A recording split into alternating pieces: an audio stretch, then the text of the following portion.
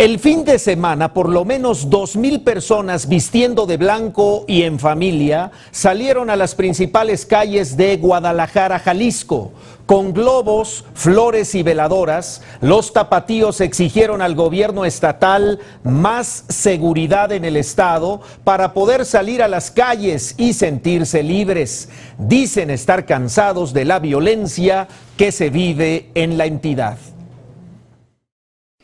Te invitamos a seguir cuestionando la información con los siguientes videos.